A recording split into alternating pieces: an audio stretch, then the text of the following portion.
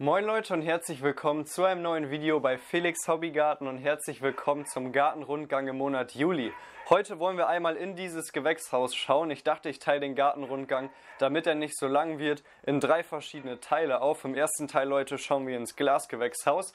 Im Teil, der in wenigen Tagen online kommt, im Teil Nummer 2 schauen wir in den Folientunnel. Denn selbst da haben wir ja 30 verschiedene Tomaten, 60 Paprikas und Chilis. Das ist schon ein eigener Teil wert. Und im dritten Teil da schauen wir dann in die Beete. Da ist auch wirklich sehr viel passiert. Wir können mittlerweile sehr viele Dinge ernten. Das seht ihr aber dann im dritten Teil heute erstmal, auch wenn der erste Teil ein bisschen kürzer wird.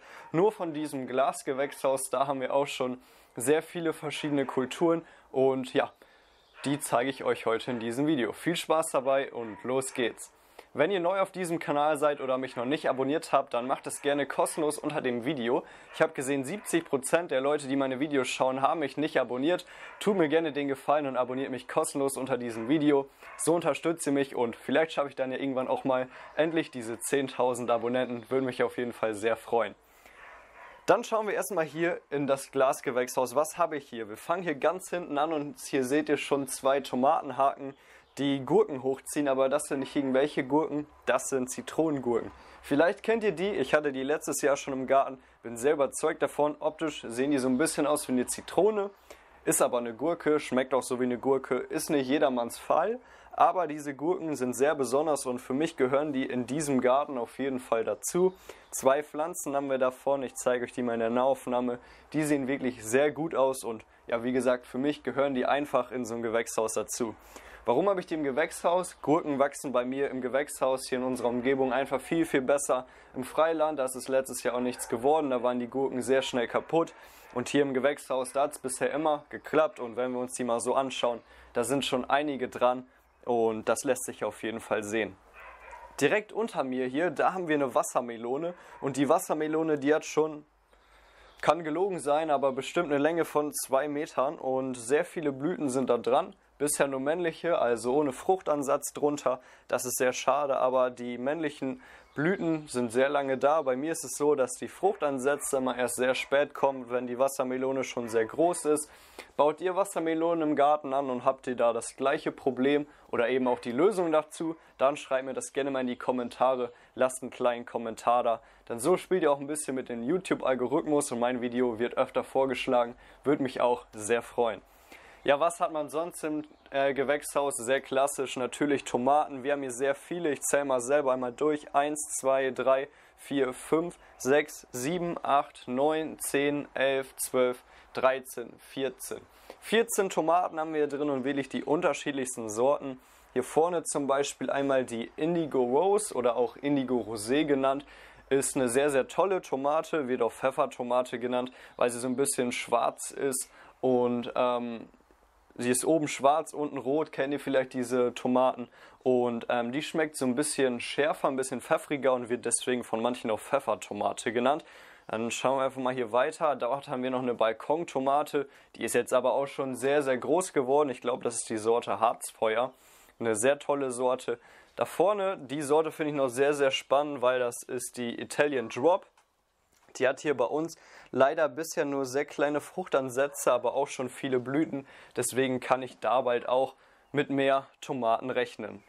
Ja, dann haben wir hier unten ganz versteckt zwei kleine Paprikas. Ich weiß leider bei der nicht mehr die Sorte. Das da drüben, das ist übrigens die Paprika Kira, meine eigene Paprikasorte. Da bin ich auf jeden Fall gespannt, bald die ersten Früchte von ernten zu können.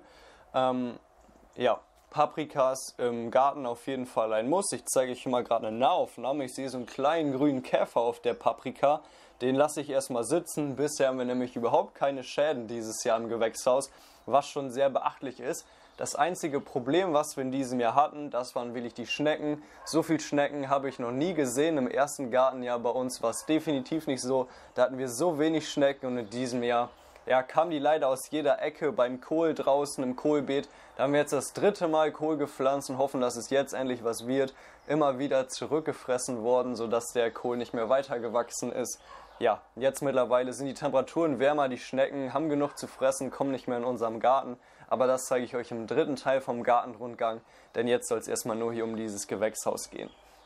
Was haben wir da noch für Sorten? Da haben wir die Berner Rose, Jenny Prinz, kennt ihr sicherlich auch. Die beiden Sorten, das sind ähm, sehr, sehr ähm, bekannte Tomatensorten. Die Jenny Prinz kennt ihr sicherlich vom Selbstversorger Rigotti. Und die Berner Rose, die hat er, glaube ich, auch. Die gibt es aber auch beim Gartengemüsekiosk. Dort habe ich die schon öfter mal gesehen. Ist eine sehr bekannte Sorte. Da vorne haben wir noch die San Marzano, so ähnlich wie die Pozzano, also eine Roma-Tomate, etwas länglicher. Und ähm, ansonsten haben wir hier noch die Pflanzen reingesetzt, die wir vom Jungpflanzenverkauf über hatten. Wir verkaufen hier beim Tierheim, wo unser Garten ist, immer äh, unsere Jungpflanzen für den guten Zweck. Da haben wir einen eigenen Jungpflanzenverkauf. Und die Leute hier aus der Gegend, die wollen nicht so spezielle Sachen, deswegen haben wir das eher aufgeteilt in gelbe Tomaten, Cocktailtomaten, Roma-Tomaten, Fleischtomaten und so weiter. Deswegen kann ich euch nur sagen, dass das eine gelbe Tomate ist und das eine Fleischtomate. Welche genau? Da haben wir so ein bisschen Sorten durchgemischt. Das sind dann verschiedene Fleischtomaten gewesen. Deswegen werden wir das wahrscheinlich dann erst sehen, was da genau bei rumkommt. Aber Tomaten hier drin, sehr, sehr viele. Mittlerweile ist es so, wir haben heute den 9. Juli. Wir haben einige Tomaten hier dran. Und ich bin bisher sehr zufrieden. Wie sieht es bei euch aus? Seid ihr mit der Tomatenernte bzw. den Tomaten, die ihr bisher habt, zufrieden? Oder könnte es noch besser? Ich sitze hier bei den Auberginen und Auberginen habe ich dieses Jahr erst das zweite Mal im Garten. Letztes Jahr die erste Saison mit Auberginen hat ganz gut geklappt. Jetzt habe ich selber Pflanzen vorgezogen und das hat auch sehr gut geklappt. Wir haben hier viele lila Blüten dran und hier vorne, da ist ja die Blüte sogar schon verblüht. Ich hoffe, da kommt jetzt dann auch eine Aubergine dran. Hier haben wir noch eine zugekaufte Pflanze und zwar ist das die Habanero Chili Calita. Chili-Freunde von euch werden die Sorte sicherlich kennen, denn das ist ja Schärfegrad Hot, eine der schärferen Chilis und bei vielen Chili-Liebhabern sehr beliebt.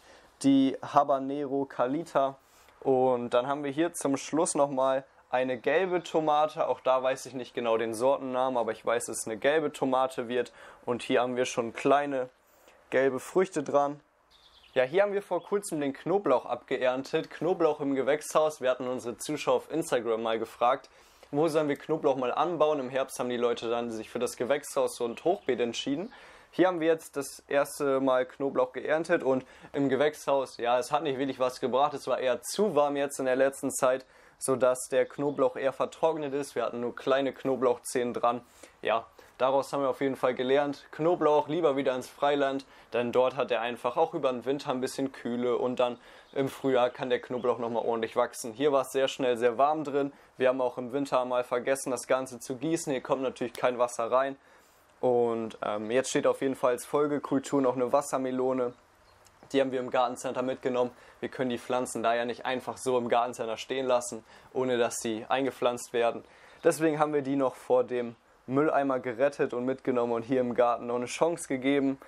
Ja, und auf der anderen Seite, da schauen wir uns jetzt nochmal zum Schluss dieses Videos Pepino und Erdnüsse an, denn das finde ich wirklich, sind auch spannende Kulturen, die bei euch im Garten nicht fehlen dürfen. Ja, hier sitze ich jetzt neben der Pepino. Die habe ich aus einem Steckling vom letzten Jahr und hier unten sieht man, die ist an sehr vielen Stellen neu ausgetrieben und ist deswegen eher so ein bisschen flacher geblieben.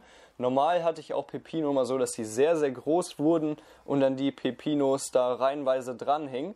Hier sehe ich jetzt sehr, sehr viele Blüten, aber leider noch keine Pepino dran. Die Erdnüsse hier vorne, da sieht man das vielleicht hier unten. Ich zeige es euch auf jeden Fall mal in der Nahaufnahme. Die Erdnuss blüht auf jeden Fall.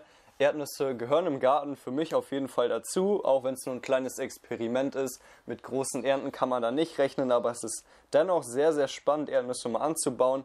Die wachsen erstmal oberirdisch, auch die Blüten, die sieht man oberirdisch, die gehen dann aber in die Erde rein, die senken sich runter und bilden dann wie Kartoffeln an diesen Blüten, die sich abgesenkt haben, bilden die an den Blüten quasi in der Erde die Erdnuss und das ist einfach eine spannende Kultur. Ich habe die immer wieder mal hier zwischen im Gewächshaus. Die brauchen nicht viel Platz. Wirklich, ihr seht das hier, zwei Hände breit sind die nur im Vergleich zu so einer Pepino echt nichts und die gehören im Gewächshaus auf jeden Fall dazu. Ja, Gartenrundgang im Juli 2021, Teil 1, Glasgewächshaus. Hier ist echt schon einiges los. Wir können bald mit den ersten großen Ernten von Paprika, Zitronengurke und Tomate hier im Glasgewächshaus rechnen. Wie sieht es bei euch gerade im Garten aus? Schreibt mir gerne mal einen Kommentar über Instagram und Facebook. Da freue ich mich auch immer, wenn ihr mir eure Bilder aus dem Garten zuschickt. Viele Zuschauer möchten mir einfach mal ihren Garten zeigen. Kann ich voll verstehen. Ich zeige hier immer nur meinen Garten und ihr könnt nicht von eurem Garten erzählen, zumindest nicht hier in den Kommentaren. Deswegen schreibt mir gerne auf Instagram oder Facebook und schickt mir mal Bilder zu eurem Garten. Wenn ihr irgendwo zu Fragen habt, beantworte ich die natürlich auch gerne, auch hier in den Kommentaren. Wir sehen uns dann im nächsten Video wieder mit Teil 2 vom Gartenrundgang. Da werden wir uns dann mal im Folientunnel umschauen. Da ist auch schon einiges los. Viele Tomaten und Paprika haben Blüten und sehr, sehr viele Fruchtansätze. Wir sehen uns im nächsten Video wieder. Alles Gute und ciao.